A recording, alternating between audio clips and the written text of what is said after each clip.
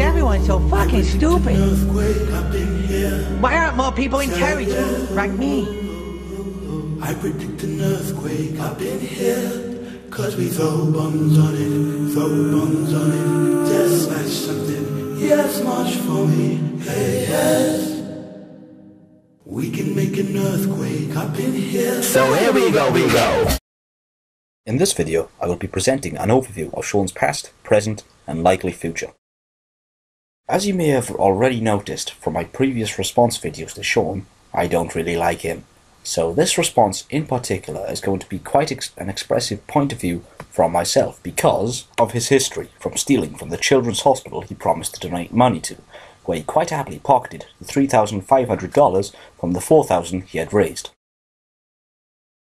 I have worked with a few charities myself and plan to become a youth worker to help raise money for holistic services like CLIC Sargent. So the mere thought of someone like Sean stabbing him in the back and running off with the money really turns my stomach. From my observations of Sean, he preys on the kindness of people and quite happily tosses them aside and calls them dirt when he feels like it. A perfect example would be when DPR Jones, Thunderfoot, Jordan Owen 42, Fact vs. Religion and Taliesin helped him after the conclusion of his last Christian campaign on YouTube. And despite of his stupid behaviour towards them, they supported him and his father through a difficult time. In a discussion with them, he openly admitted that he had made some very poor decisions and choices through the content he portrayed in his videos. However, now he is back to promoting the same garbage as he once did. Regardless of his awful reputation for asking for donations, he still thinks he is more than worthy to receive financial support, and in spite of the fact that his father is no doubt currently funding for everything for him, along with the fact that he makes money from his current job. So what does he need the extra money for? And if he is that desperate for it, then why doesn't he just grow a pair of balls and earn the cash for himself, through hard work? Sean's behaviour now, where he has jumped back onto his high horse and calls himself superior, just demonstrates how much of a spineless little egocentric maggot he is. However, I think DPR Jones is a far more accurate description of him than myself. Venom Fang X is the most despicable person I have ever met in my entire life.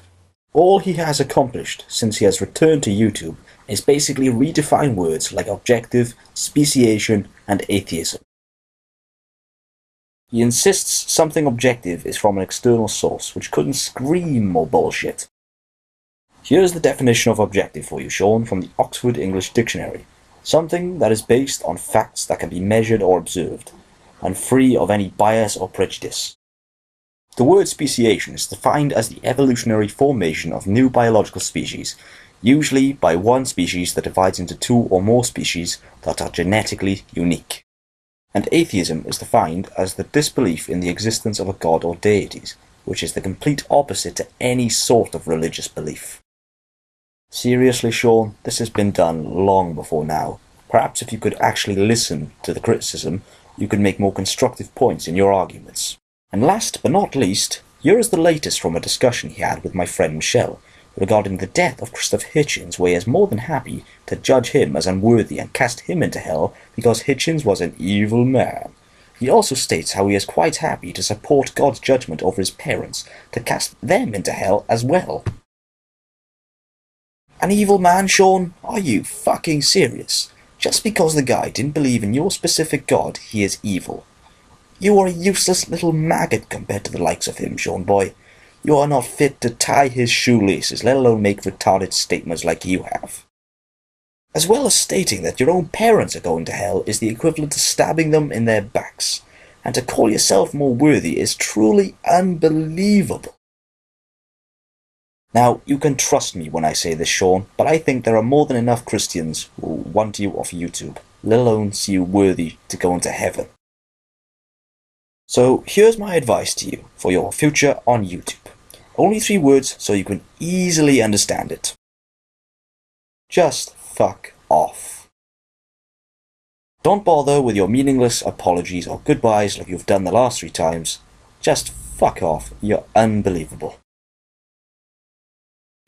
Thanks for watching. Please subscribe, comment, rate and favourite.